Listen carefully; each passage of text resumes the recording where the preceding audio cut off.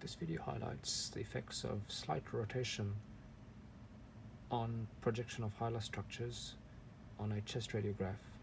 This is a CT scan of a patient where the images have been averaged to give something close to that of a radiograph. The axial images are on the top right.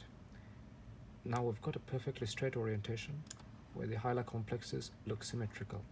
But note that if you alter the angle of projection by at least a very small amount such as that of 5 degrees to either side.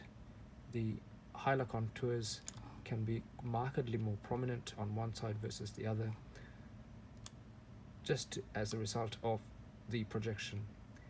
The effects of rotation can also be identified on coronal images with the positions of the clavicles. The other factor that distorts the where the mediastinal and hilar contours project are inspiration as well as whether the radiograph is AP or lateral.